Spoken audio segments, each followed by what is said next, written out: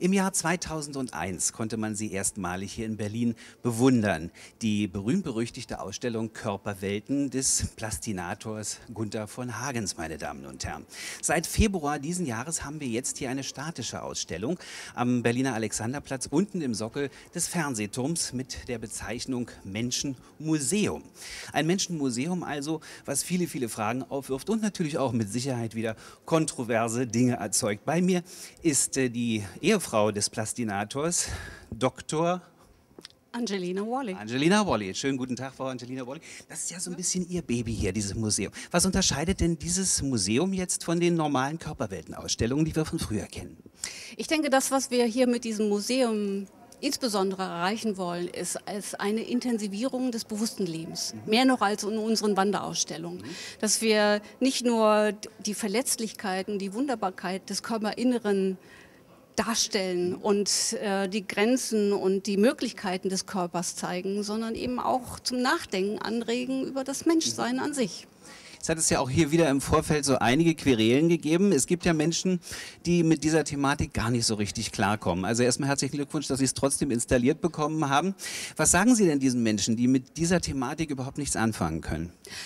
Nach 20 Jahren Körperweltengeschichte mhm. und nach mehr als 40 Millionen wirklich begeisterte Zuschauer verwundert es wirklich allzu sehr, dass man hier in dieser Weltstadt Berlin Bezirksbürgermeister antrifft, die äh, diese Ausstellung verhindern wollen und es aber noch nicht mal für notwendig erachten, sich selbst ein Bild zu machen von dem, was wir hier tatsächlich zeigen, sondern doch im Wesentlichen aus ihren Vorstellungen heraus urteilen.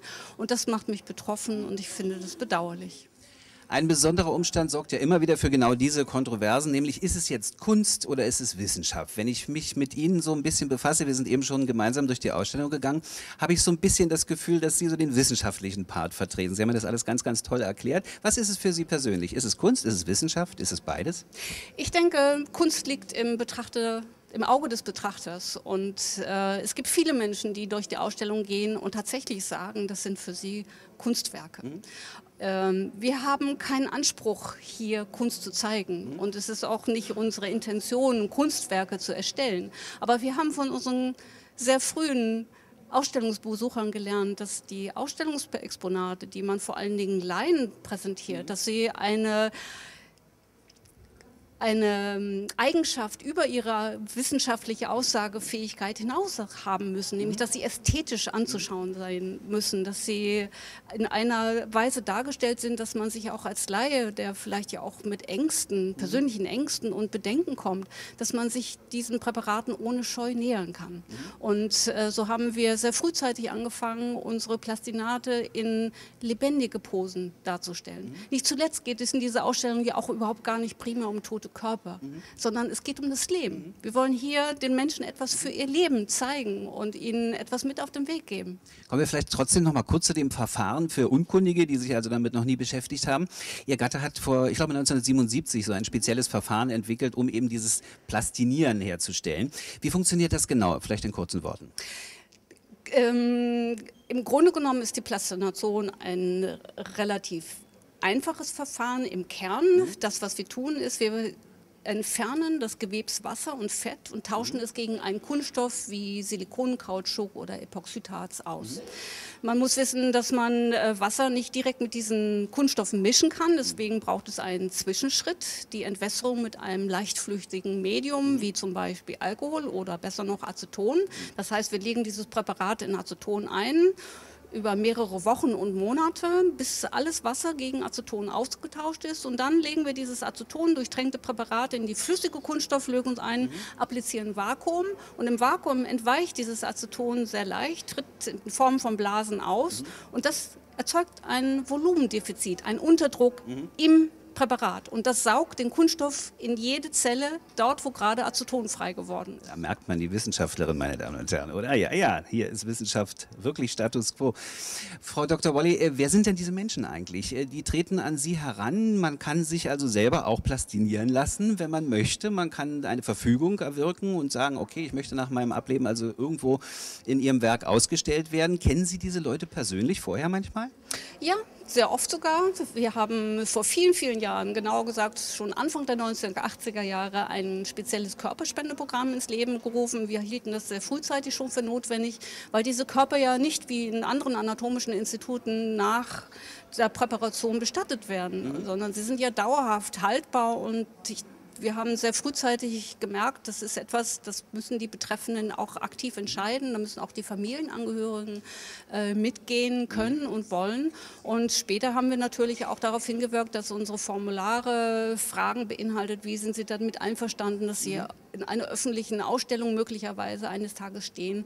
Und äh, mittlerweile haben sich über 15.000 mhm. Menschen in diesem äh, Programm registriert, viele Berliner auch. Und äh, ja, man kann bei uns im Institut für Plastination in Heidelberg anfragen. Wir haben eine Broschüre herausgegeben, die genau beschreibt, was mit dem Körper passiert, warum wir das machen, wie man Körperspender wird. Man füllt dann zwei Formulare, die wir mhm. mitsenden, aus, unterschreibt diese und der Körperspender erhält dann ein Formular zurück und mhm. einen Körperspendeausweis. Man muss wissen, das ist kein Vertrag, sondern es ist mhm. eine Willenserklärung, die kann man jederzeit auch ohne Angabe von Gründen wieder zurück. Dieses Verfahren kann man sich sogar auch mal live vor Ort anschauen, wie das gemacht wird. Uh, ungefähr 70 oder 80 Kilometer vor Berlin gibt es da auch noch quasi eine Filiale von euch, wo man sich das anschauen kann. Tatsächlich, wir haben in Guben unsere Hauptwerkstätte heutzutage. Dort sind unsere Labors und die sind zu weiten Teilen öffentlich zugänglich. Freitag, Samstag, Sonntags jeweils. Die Öffnungszeiten sind auf unserer Webseite äh, zu entnehmen. Und dort kann man wirklich unseren Mitarbeitern über die Schulter schauen und sehen, wie man dort präpariert, wie die äh, Plastinate entstehen, wie sie in Pose gebracht werden. Und man kann eine Vielzahl von Exponaten sehen. Also wirklich einen ganz anderer Eindruck, als den man hier in, der, in diesem Museum hat, äh, aber mit Sicherheit eine Reise wert. Kann ich nur bestätigen. Ich bin zwar nicht aus dieser Branche, aber ich habe schon jetzt in der kurzen Zeit eine ganze, ganze Menge über mich selber lernen können, meine Damen und Herren. So, und heute begrüßen wir, dass die, die äh, Ausstellung sehr, sehr erfolgreich ist. Das sehen wir nämlich gleich nochmal, denn heute begrüßen wir hier den 100.000. Besucher. Und der wird auch gleich noch richtig begrüßt, richtig? Ganz genau. Das ist, wir müssen jetzt auch fast ein bisschen beeilen, weil das Drehkreuz, das tickt und dann lassen, denke, wir sind dann lassen Sie uns gleich gehen, dabei, den 100.000 grüßen zu können. Super. Ich glaube, es ist sogar schon soweit, äh, dass äh, die Betreffenden ausgewählt wurden und ich werde mich mal hier dazwischen schlängeln. Nee, Sie, müssen, Sie müssen unterschreiben. Hier werden gerade noch so die letzten Formalitäten. Ja, ich darf Sie ganz, ganz herzlich begrüßen. Ich zumindest mich vorstellen. Ich bin Angelina Wally. Ich ja. bin die Kuratorin der Ausstellung und Sie haben es vielleicht schon gehört von der Mitarbeiterin. Sie sind mit Ihrer Familie die hunderttausendste Besucherin hier in unserem Menschenmuseum in Berlin. Ich freue mich ganz arg, äh, dass Sie gekommen sind und bin ganz neugierig zu hören, was Sie heute hierher bringt. Ja, also wir haben, ähm, also ich habe davon schon gehört im Fernsehen und so und ich komme, äh, habe verschiedene Berufe gelernt und ein Beruf ist MTA und ich komme aus dem medizinischen Bereich also und deswegen interessiert mich das ganz toll. Also ähm, möchte das gerne noch mal so sehen, wie die Menschen eben wirklich von innen so vom Körper aussehen und auch wie die Bewegungen und Muskeln sind. Also äh, ich finde das total spannend. 100.000 Menschen haben also mit dem heutigen Tag das gleichnamige Museum besucht. Uns hat es großen Spaß gemacht, zumal gerade auch die noch Lebenden dort, die Mitarbeiter, die Kuratoren und andere Helfer, einem den Besuch so angenehm und informativ gestalten, wie nur eben möglich. Da verfliegt schnell auch die Restangst vor plastinierten Wesen. Und als dann sogar noch der große Plastinator persönlich auftauchte, hätte sich unser Team beinahe geschlossen plastinieren lassen. Aber bis dahin ist es ja hoffentlich noch ein bisschen Zeit.